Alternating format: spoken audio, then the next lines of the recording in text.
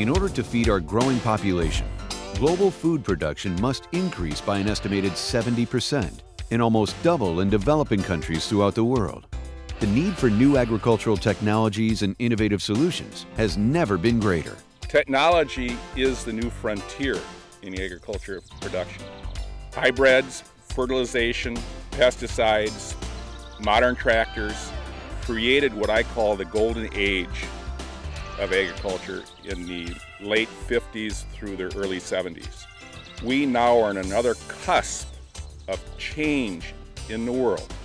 Using computer technology, we can now be presented with summarized data from our sensors out there, from our drones, from our soil moisture sensors. It allows me to work smarter, not harder. Agricultural production is being driven by these technologies. Instead of farming doing one input for 160 acres, now we're doing input on a quarter of an acre, every uh, uh, maybe every uh, 50 square feet. We're able to adjust the application technology to fit the ground needs and the crop needs. So that uh, computer technology empowered in our equipment enables us to uh, produce more and be more efficient with the crop. Advancements in technology is basically helping the farmers take the concept of farming the same piece of land but getting more yield out of it than years past. So these advancements like variable rate irrigation, variable rate planting, variable rate fertilizing is taking a, a soil specific or field specific approach to applying these technologies to get more yield. And with these technologies is, is a younger generation coming in and this younger generations, we like to be out in the field with our, our cell phones, with our, our tablets and our Ultrabooks, and we like to see the information, log information, kind of do a technology-centric approach to farming, all in the spirit of using the same piece of land to get more yield. So we can be better farmers, and we think technology will help us get there. Precision Waterworks Inc., located in Plainfield, Wisconsin, is dedicated to educating growers, agronomists, and all vendors in the agriculture community on the many facets of technology available to the agricultural industry. We're basically an irrigation consultant company. Um, we do variable rate irrigation and we do precision field mapping for growers. We don't sell the hardware, we're basically the architects of the VRI. Our mission is basically to help growers utilize their water and, and spatially adjust it throughout the field so that we're using the right amount of water in the right places. Some of the newer, what we call precision agriculture technologies that are becoming available one of them is called variable rate irrigation. And what that allows uh, an irrigation operator to do is to apply different rates or volumes of irrigation water at different spatial locations in a field.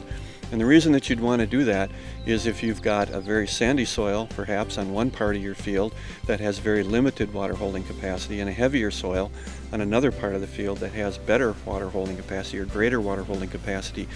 This allows uh, the producer to apply water in, in accordance with that soil characteristic so you're not overwatering one soil and underwatering the other. When you combine uh, soil moisture monitoring, spatial soil moisture monitoring with variable rate irrigation, it gives the grower a powerful tool to uh, conserve water and, and manage that water in a precision manner.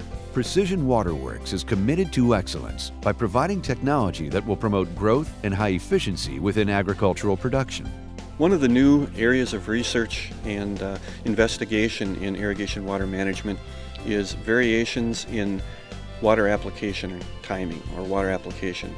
Uh, an example of that being that some crops such as corn and soybeans don't require a significant amount of irrigation water early in their growing stages, in their vegetative growing stages.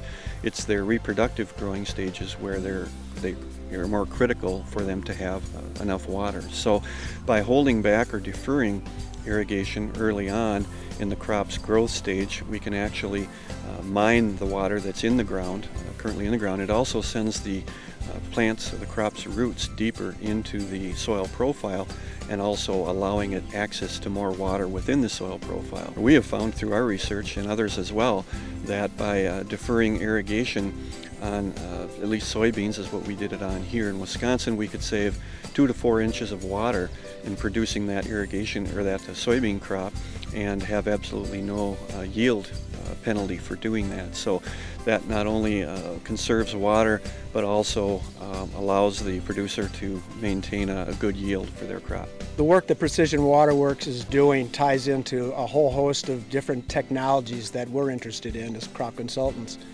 Uh, precision planting would be one. Uh, also, uh, we're interested in remote sensing, and we think that that information can tie in very nicely with uh, the maps that uh, Lamar generates and use this kind of information not just from a management standpoint, but from a knowledge base area to know what is going on in these fields. Uh, we're interested in site-specific nematode management and these kinds of uh, technologies where you can map out variability in the field may allow us down the road to uh, utilize this kind of information for that purpose.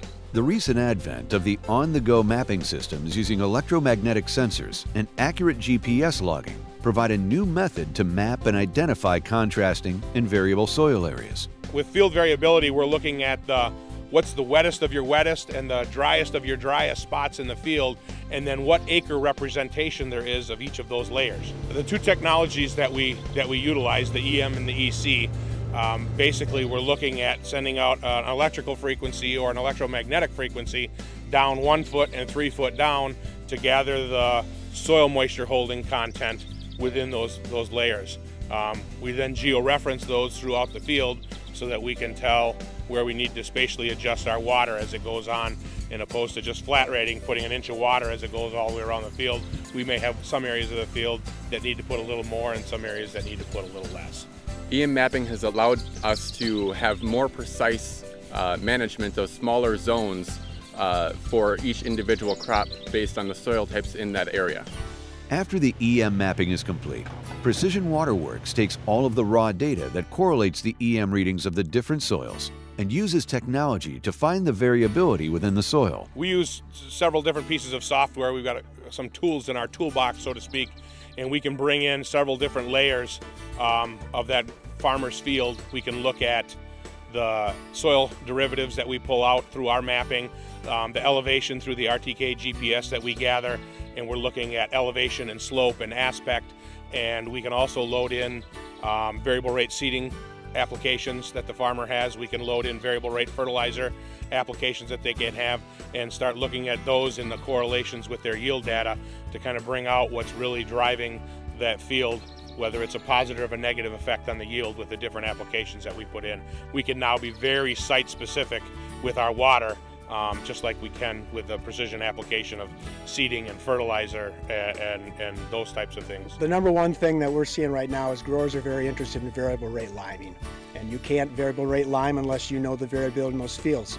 We're also interested in variable rate nitrogen. And uh, these things would tie in very nicely with the work that Precision Waterworks is doing. Their variable rate uh, watering can tie in with variable rate nitrogen applications through the irrigation system. Uh, we think that if we have a map that can show us the risk based on soil type, we can use uh, information on a limited scale uh, testing for nematodes without having to grid sample, and we can form a map that can tell us how to variable rate control nematodes and other diseases in fields. Precision Waterworks starts by deriving EM and landscape change layers to identify water holding capacity variability across the field. These fixed yield influencing data layers are professionally processed and then delivered through software in preparation for field variability calculations, prescription generation, and analysis reports. At the end of the year, we try and do a, a detailed analysis report with our growers where we will overlay the, the yield data throughout the course of the year to make sure that we've the, the changes we've made on our variability um, prescriptions match the need of that field. Um, we'll also change that during the course of the year.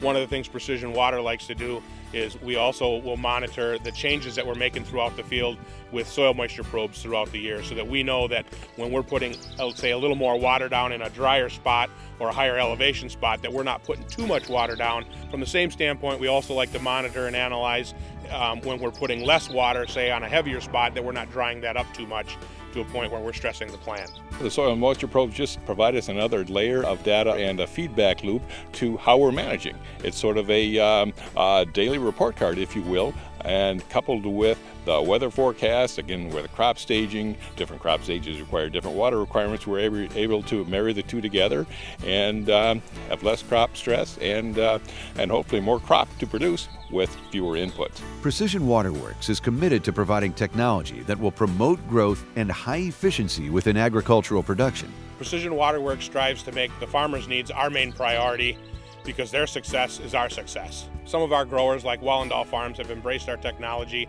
and they've been pretty much a guiding light as to the direction and the path that we've taken in this industry. Support and feedback from our growers, that's really what brings success to Precision Water. For more information, visit www.pwwinc.net.